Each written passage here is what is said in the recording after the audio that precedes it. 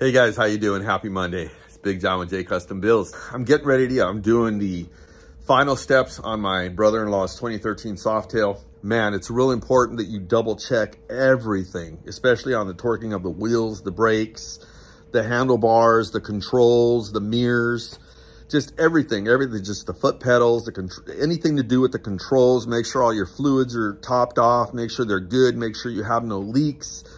Make sure if you take your floorboards off that you tighten them up. You don't want a floorboard uh, getting loose and, and, and falling on you when you're riding. That could cause a real bad accident. And uh, so I'm just doing a once over on this bike and I am going to change the battery for him. I'm gonna put a brand new battery in here. I've been keeping this one on the tender. I don't know how old it is, maybe two years old or whatever, but it's set for a long time and it's just not cranking the way it should. So we're gonna swap that out real quick and I'm gonna show you guys a really quick tip because it's, it's kind of tight in there and a lot of people struggle with getting their hands in there and getting the batteries. They smash their fingers and all that stuff. So I'm gonna go over that with you guys really quick. So stand by.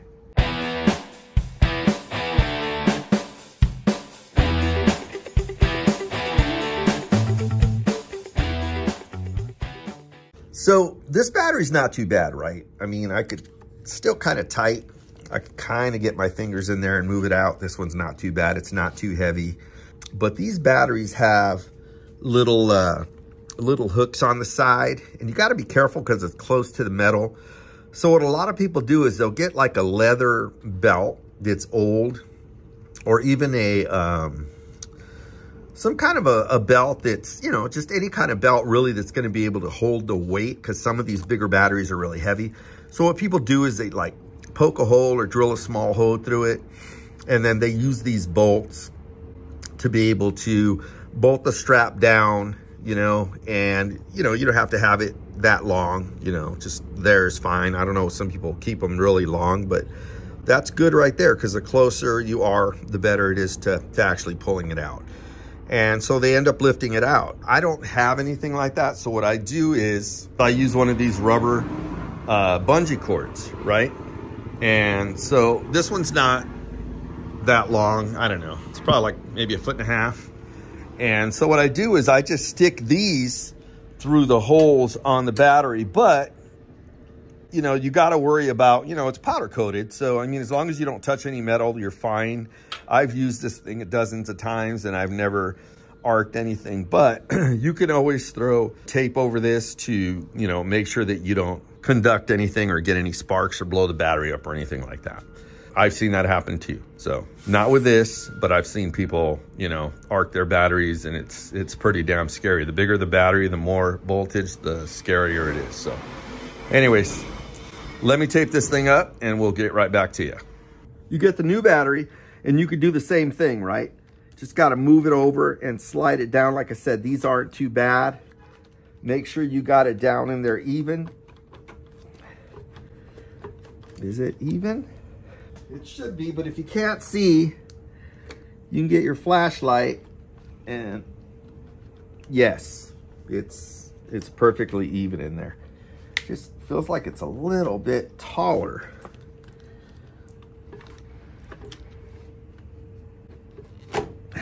Hang on one second, guys.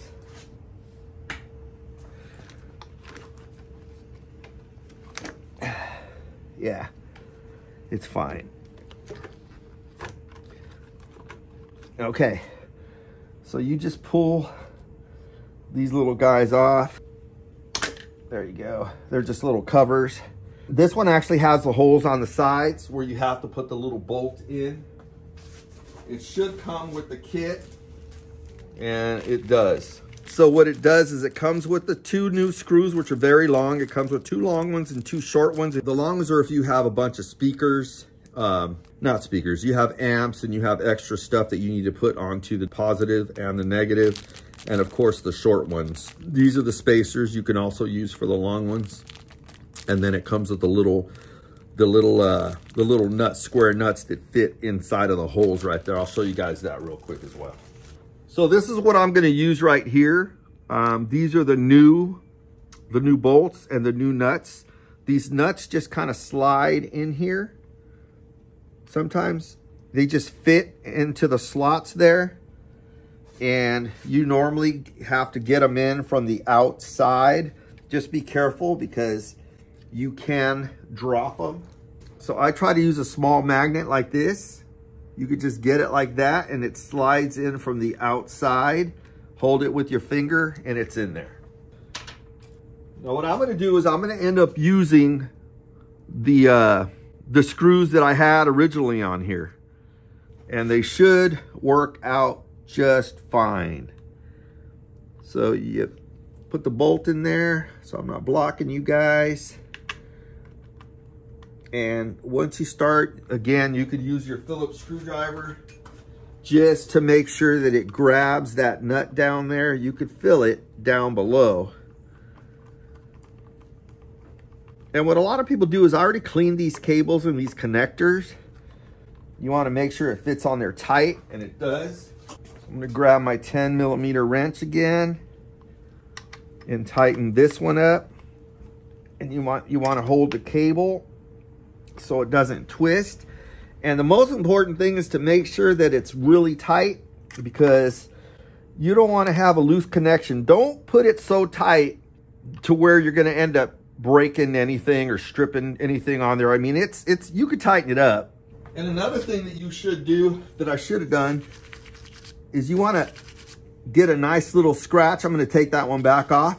So I cleaned these connections already, but it doesn't hurt to go over them again because you want to have the best connection you can have possible, right? So I'm going to leave that one off really quick. I'm going to take this one back off and then I'm going to clean the top of the battery terminal before I put it back on. You know, guys, just want to share this with you guys really quick. My wife and I, it was our, our 16th anniversary weekend and the first two days were okay. Then things, things got kind of rough because for those of you that have been following my channel for a while, you'll know that Leo's been with us since uh, May of last year, 2023. Get those nice and clean so you get a good connection.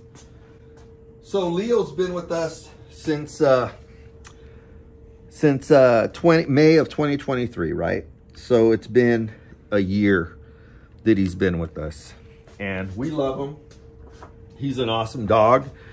He could be a brat sometimes. You know, he's just really spoiled because we had been without a dog for four years, three or four years. And, you know, my wife fell in love with him instantly. So we're gonna tighten this back up. Like I said, you wanna hold this and then give that some really good turns and just to where it stops, you just wanna get it nice and tight on there, make sure that because sometimes if these bolts are too long, you won't really get tight on there. You have to end up putting washers or spacers, but that that's actually pretty good right there. So our uh, our puppies have uh, Leo's super, super jealous, right? You can see the small arcing.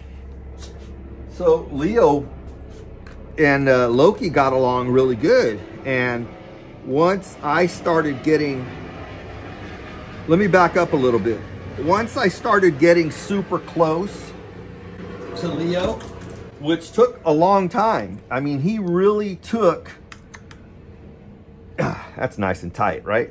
So he really took to his mom right away, but not so much to me. It took him a long time to, uh, to get closer to me. So let me grab the keys really quick and start this girl. So you want to check that they're nice and tight, right? And then let's see if this battery's actually charged.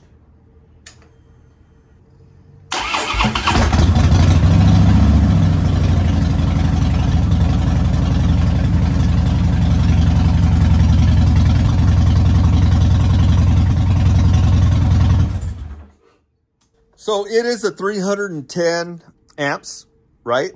I think the other, his was like, I don't know what it was. I'll look at it right now. It's 310. Exactly.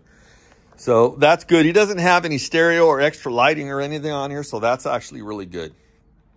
So I'm going to work on my checklist right now and then I'll get back to you guys. I'm going to actually take this girl out again today. So here's Leo, guys. He's the one that's been with us for since May of last year, 2023. So it's been a year and a couple months. And like I said, he's an amazing dog, but he is just so jealous and he's just so aggressive that he's been attacking Loki. And they had never really hurt each other, but he uh he bit Loki's ear really bad. Come here, Papa. And Loki got his leg. I don't know if you guys can see the leg, the marks on his leg right there. Yeah. And see that? And they got each other pretty bad. His leg was pretty swollen. And so I've had dogs all my life, guys, and I've never experienced anything like this. I know that Loki was, I mean, Leo was with us for a year before Loki came. Loki's been with us for 11, no, eight, nine weeks. And uh, he's just really timid because Leo let him know that, you know, I'm the alpha here. I've been here for a year now and you're new here. This is my house. This is my mom. This is my daddy. And this is my yard he will not let Loki play with any toys. He um, he just punks them all the time. I don't know any other way to say it. You know, it just reminds me of being in prison where, you know, the young or younger, timid guy comes in and the guy that's been there for a while and he ends up coming to his to his uh, cell. You know, he's just, this is my cell. Things go the way I go unless, until the, the respect kicks in and the guy earns his respect. Well, Loki is just now so afraid to even be by Leo because, you know, he gets that razorback hair stands up in the in his back and his tail goes up and his he just gets you could see he's in that attack mode and he's just ready to attack all the time. So they hurt each other pretty bad this last time. And so now we've been keeping them separate you know. Loki's in the house right now Leo was in his kennel. Loki wanted to go in. I went in to grab the keys for uh, my brother's bike and Loki ran in the house. When I try to come back outside, he doesn't want to come outside. All Leo has to do is just look at him and he'll turn away and stay that way for a long time. And then Leo, Leo will eventually go around him. And if he doesn't acknowledge Leo in any way, he attacks him. So I ordered some muzzles today and I ordered one of those little supersonic carrying things on Amazon. I don't know what else to do, man. Are you guys getting along? Can you guys be nice to each other? It's because they're not by either of us. Yeah. When you guys are alone, it's just you two, you guys are fine. But the minute I bring you in the house... So my wife and I have been watching a lot of Cesar Millan to try to get to know these dogs, right? The dog whisperer. And we've learned a lot of good stuff on there, but no matter what, I mean, as far as training goes with, you know, Leo does not want to submit. He acts like he's submitting. He plays the role. He lays down and he puts his head back and his feet in the air, but he's not submitting. He's, you know, and Loki's so tense now that it's, it's like laying a bull down. He doesn't want to submit. And if you lay him down, he's like, you know, like all like amped up and he stiffens his whole body and you can't turn him over. Even if you pick him up to try to turn him over, he will fight you tooth and nail.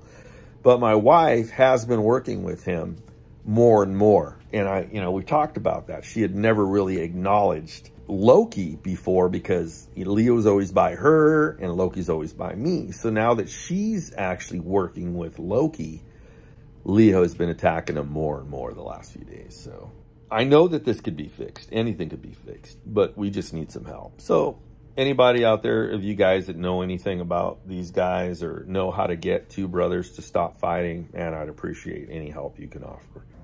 hey guys, I want to apologize too because I just, I realized when I was making this video that I somehow accidentally deleted the part where I use my bungee cord, my rubber bungee cord to hook each side of the battery and pull it out. So that's all I was trying to do. And so I didn't need to use it to put this battery in because it was really light. So my apologies for that. And I also wanted to say this is just how I do it. I never change a battery without brushing the battery off and brushing the cables off and cleaning everything, getting all the corrosion off. A lot of people just, they just don't do it like that. And it just, your battery gets corroded right away and it gets, uh, depending on where you live, the moisture and everything. And you know, it's the connection. You lose a connection and, you know, so battery maintenance is, is, is huge on your bikes, man. So just stay on top of it, do your best. And if you're not riding your bike, like I have not been able to ride my bikes lately, always keep them on the tender. You know, it helps the battery stay charged and uh, keeps the bike ready. So whenever you're ready to go, even if it's two, three months down the road, you can start it when you, you're ready to take off and go. So hey guys, that's gonna be a wrap for today's video. I really hope you enjoyed it. Yeah, I mean, I had a knee replacement like 10 weeks ago and uh, I haven't really been able to come out here and work on anything. So I've just been working with the stuff that I had previously recorded. But I got some minor things that uh, I want to work on now that I'm able to stand up for a little while. Like my brother-in-law's uh, bags, I still have, have his bags. I'm sure he really wants them. So got a video of that that I started and I'm going to be uh, finishing them up here pretty soon. But uh, hey, if you guys have not entered my uh, current giveaway, my first giveaway that I've been trying to do, do me a favor, man. Head over to my website, check out my uh, hats and my t-shirts. There's several different colors, six different color hats. You're not actually buying the hat or the t-shirts that are available. You're actually entering, the money is actually going to one of the bikes. This guy right here and that guy right there. So that's what you're actually entering. Yeah, you're spending $100, but you're actually entering to win a 16,000 or a $20,000 bike. I have 16 grand in it, so they're probably worth that, if not more. 2009 Ultra, 2010 Street Glide. I've gone through them all. Check out the videos. They run excellent. They're beautiful, freshly painted, good quality paint on them. All Harley parts that are on them yeah, man, check out the videos. All you got to do is buy a hat or a t-shirt or multiple, and that's your automatic entry into the current giveaway. I have 93 slots left, so man, do me a favor, man. Take a chance, enter this giveaway, and as soon as those 93 items are sold out, we are going to go ahead and give one of these bikes. Here's some short videos for you to check out of both bikes. You can see them and you can hear them running. And pretty soon I'm going to be doing some more videos on them, hopefully next month. I'm trying to strengthen up my leg. I've been in therapy now for three weeks. And so, yeah, man, let's get this going. Other than that, you guys always remember to ride safe, take care in everything you do, love on your families, and God bless. Peace. So let's start these girls up. Beautiful Sapphire here. Go around the other side, make sure she's in neutral. She's in neutral you guys could hear the uh, Vance and Hines eliminators that are on here. This girl sounds absolutely wonderful. Check this girl out.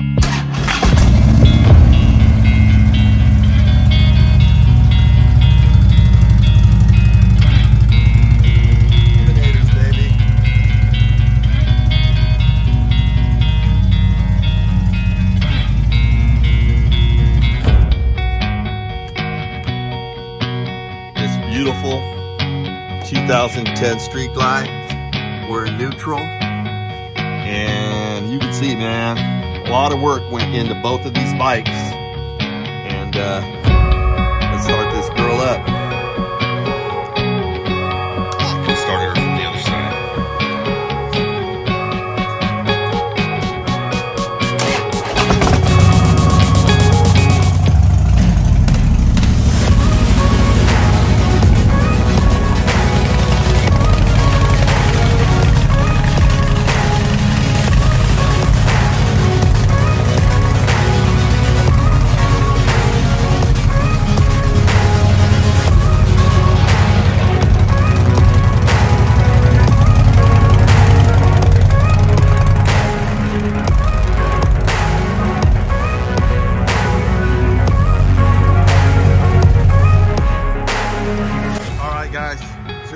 choice, $100. You decide, it's your choice to win either one of these beautiful bikes.